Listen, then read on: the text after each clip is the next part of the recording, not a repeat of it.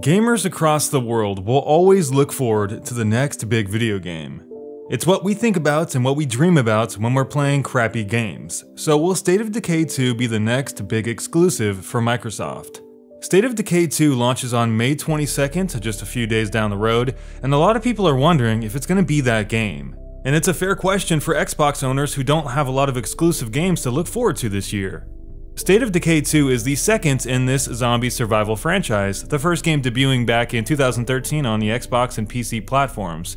It had a respectable showing from critics, averaging around an 80 give or take where you look. A big group of people didn't really like it, others raved about it, including an incredibly high score from the Steam user front. So it's one of those mixed bag games leaning towards just being a pretty okay middle of the road kind of game. Nothing mind blowing, but if you're into stealth, action, survival, zombie kind of stuff, you may have had fun with the original, and for me, I definitely did.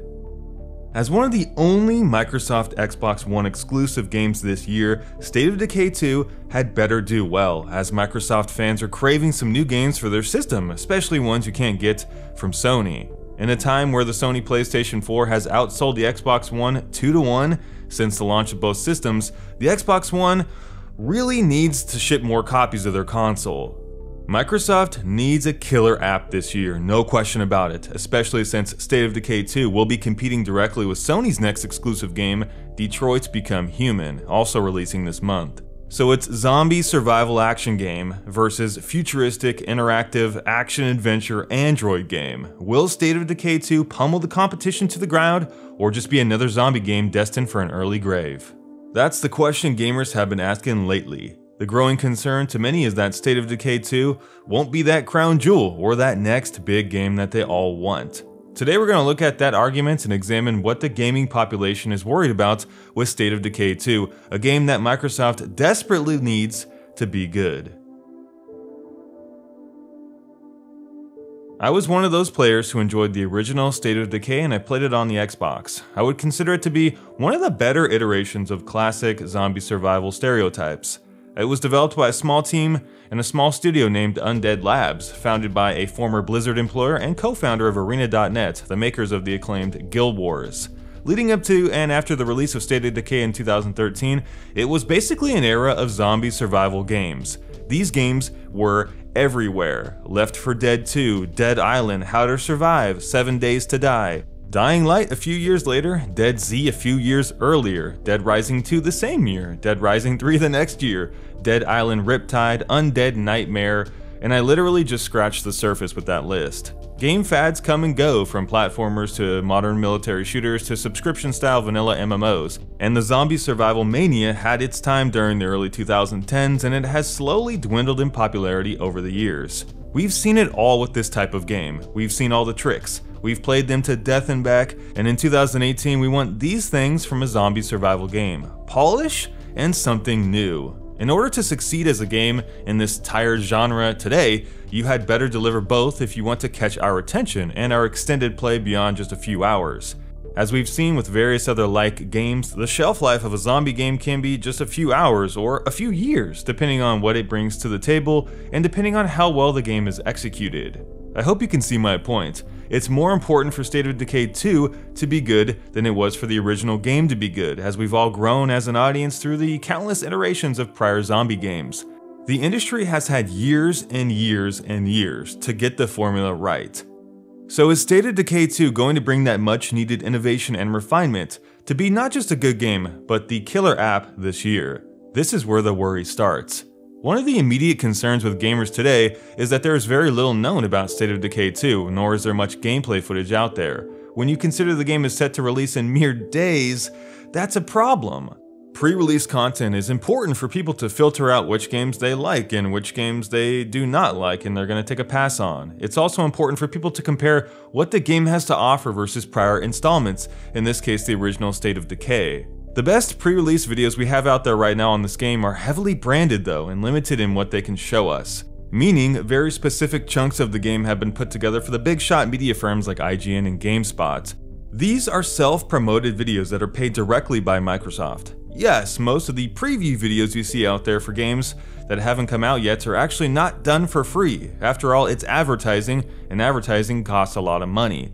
While this is common in the industry, many of these videos remain very non-opinionated, simply listing off features rather than giving any real criticism.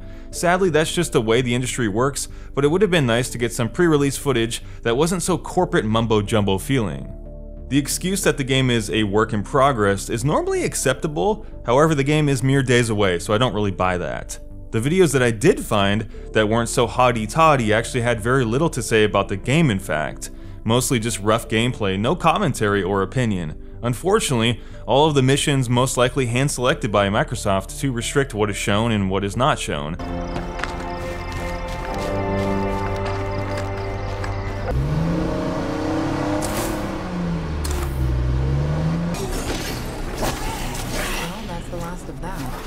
It's these videos that are not really much use to anyone in the end because A, there's not much opinion, and B, it's clearly scripted. While I think some pre-release videos are inherently good to check out basic gameplay, I often don't think they are as valuable as people believe them to be, considering how it's basically controlled advertising.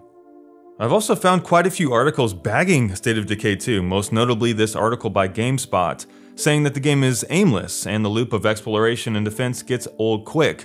A multitude of bugs and poor presentation is also noted. Obviously this is why people are rightfully worried about the game. After all, how much of this can be actually fixed in just a few days? Players want to see a high level of evolution of gameplay from the first game.